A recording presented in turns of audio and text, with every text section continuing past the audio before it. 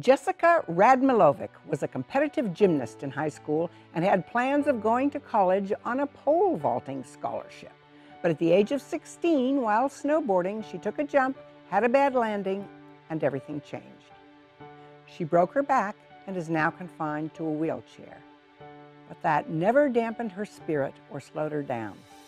During her recovery, she found wheelchair basketball, and she was soon recruited to the University of Arizona where she played for the wheelchair basketball team and went on to play on the USA National Women's Wheelchair Basketball Team. She later became a triple gold medalist and holds two world records in disabled water skiing. She's currently the recreational therapist in the Spinal Cord Injury, or SCI, Center at the VA in Palo Alto. She provides services to 26 SCI veteran inpatients she works with the vets to help reintegrate them into the community and daily life after injury. So I broke my back snowboarding. I was 16. Took a jump gone bad, fell, and that was that. Um, didn't really have time. I went to rehab for only about three and a half weeks. So I was a junior in high school. I was only gone from school for five weeks total. So and did it ever come back and just super depress you? Not really, no, because life just kind of moved forward. I just got involved into adaptive sports right away, and that was just a huge experience for me. So you also went to a basketball camp, mm -hmm. and I understand that was, if not life-changing, huge. Yeah, so you. that was actually, I think, my first trip after becoming disabled and using a wheelchair by myself. I was um, actually going into my freshman year, of college and my mom signed me up for this camp I really didn't want to go to at first in Illinois at the wheelchair basketball um, program that they have there. But I went and that was really the first time that I was able to connect with other young people with uh, disabilities. Um, spinal cord, spina bifida, amputations, all that kind of thing. And so I really discovered that community that I wasn't alone and I was able to move forward and do all these different things. So I was able to get that kind of peer connection and education from them and their life experiences and be able to grow from that.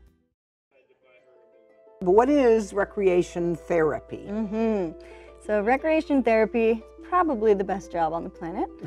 Um, we work along, at least in a rehab setting, clinical settings, we work alongside an interdisciplinary team. So that means we're working with physical therapists, occupational therapists, psychology, the physicians, the whole team gets together because we're working on the same similar goals for that veteran. But the uniqueness about recreation therapy is that we don't just address the physical issues. So I work on spinal cord injury unit. I'm not just looking at the spinal cord injury as that. I'm looking at the person as a whole. So I get to address the social, emotional, physical, cognitive, and spiritual aspects of that person and use recreation activities such as adaptive sports or yoga, creative arts, things like that, um, to help facilitate growth and change and them meeting their rehab goals in all of those areas.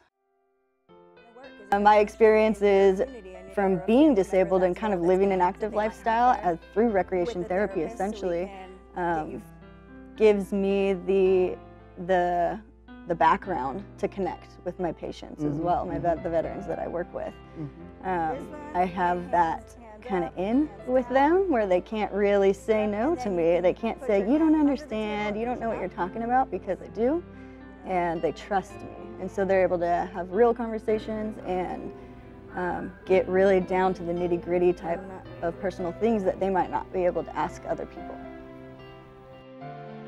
One of the challenges with my job is buy-in from the, from the veterans. You get that pushback in the initial rehab from veterans or patients that don't want to participate in the recreation therapy program. But once they do, and if they continue that, they always come back and thank me.